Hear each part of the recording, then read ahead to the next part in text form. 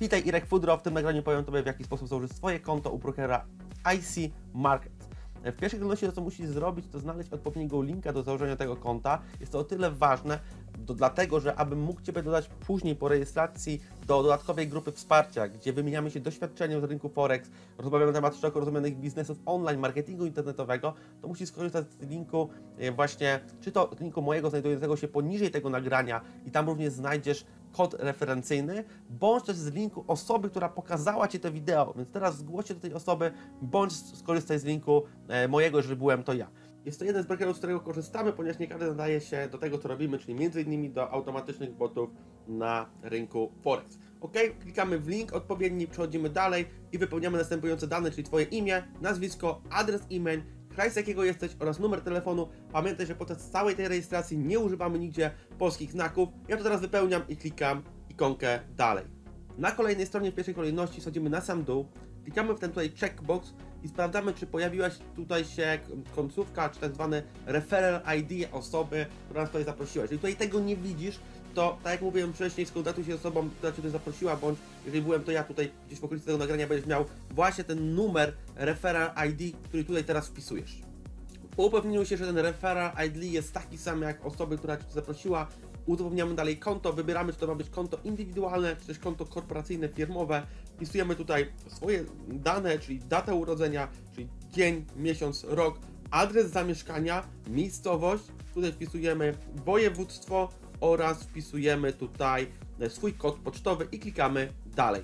Na kolejnej stronie konfigurujemy swoje konto, mamy tu możliwość wybrania platformy C-Trader, MetaTrader 4 i MetaTrader 5. Ja wybieram MetaTrader 4, 4 z tego korzystam. Tutaj poniżej mamy możliwość wyboru, czy chcemy mieć konto profesjonalne czy standardowe. Wszystko zależy od Twojej znajomości rynku, od tego jak długo grasz, od tego po prostu co jest dla Ciebie potrzebne. Te konta troszeczkę się od siebie różnią. Wybieram konto standardowe, które nie zawiera stałych prowizji za otwierane transakcje. Następnie wybieram tutaj walutę, czyli w moim wypadku tutaj będzie euro USD i klikam tutaj tego checkboxa i zaznaczam dalej. Na kolejnej stronie musimy po prostu napisać, czy jesteśmy osobami początkującymi, osobami, które gdzieś tam mają średnie zaawansowanie w tradingu, czy po prostu osobami, które e, działają na rynku dłużej, są profesjonalistami. Wybierasz tutaj odpowiednio w zależności od, od Twoich umiejętności. Następnie wybierasz tutaj odpowiedź na pytanie takie zabezpieczające, czy gdybyś zapomniał hasła, albo gdyby po prostu firma chciała coś od Ciebie i poprosiłaby Ciebie na odpowiedź na to pytanie, to wybierasz któreś z tych pytań. Tutaj, e, czy to będzie na przykład e, imię Twojego pierwszego zwierzątka, tak? Czy to będzie Twój ulubiony kolor, czy to będzie Twój ulubiony muzyk, artysta. Wybierasz to, wpisujesz tutaj odpowiedź na to pytanie, żebyś zapamiętał, a następnie klikasz tutaj, zapoznajesz się z tym wszystkim, tutaj jest, z ryzykami związanymi tutaj właśnie między innymi z e, tradingiem, z polityką prywatności i klikasz dalej. W kolejnym kroku będziemy mogli zweryfikować nasze konto. Będziemy tutaj potrzebowali dwa rodzaje dokumentów. Z jednej strony będzie to na przykład paszport bądź drive license, czyli prawo jazdy, bądź też po prostu tutaj będzie e, Twoje ID, czyli Twój dowód osobisty. Z drugiej strony będzie to rachunek za prąd, za, za gaz, za internet, wyciąg, wyciąg z banku. I tu bardzo istotne jest, to jest taka informacja, że te dokumenty muszą być mm, akurat tutaj w kolorze, w kolorowym, tak? Czyli w kolorze nie mogą być czarno-białe, e, muszą tutaj być wystawione przez agencję rządową, czyli jakiś urząd rządowy, wyraźne muszą być to informacje o imieniach, o datach, o datach e, wygaśnięcia, datach założenia danego dokumentu.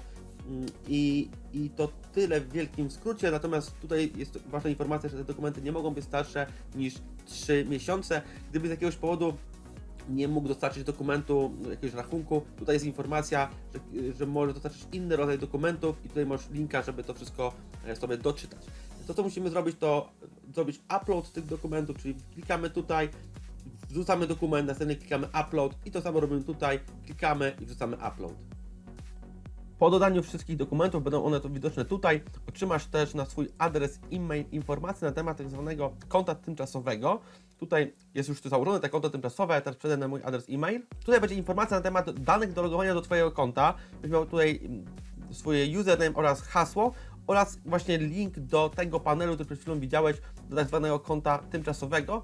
I teraz to, co potrzebujemy robić, to poczekać na weryfikację konta. W międzyczasie to, co możesz zrobić, to tutaj zrobić depozyt, czyli deposit found i tutaj masz sposoby na robienie depozytów zgodnie tutaj z tą instrukcją. Po kilku godzinach oczekiwania konto jest otwarte, tak jak tutaj widzisz po, po lewej stronie status jest tutaj approve. Gdyby był jakikolwiek problem, zawsze możesz skorzystać z czata, który tu się znajduje, napisać tutaj na, na support. Na konto w zasadzie możesz się zalogować danymi, które wcześniej otrzymałeś, które Ci pokazywałem e, na adresie e-mail.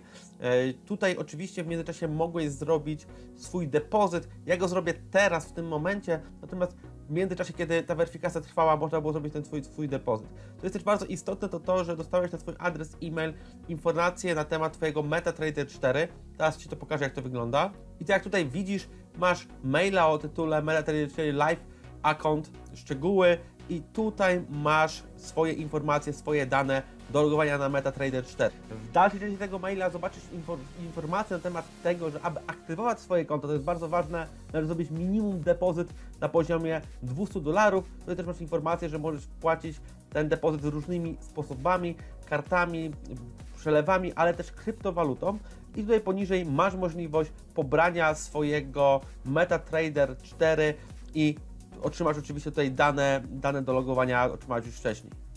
Informacje na temat supportu, lecz jakichkolwiek pytań, problemów, możesz skorzystać właśnie z tego, z tego supportu, a ja teraz przejdę i dokonam jakiegokolwiek depozytu, żeby pokazać Tobie, jak to właściwie można zrobić.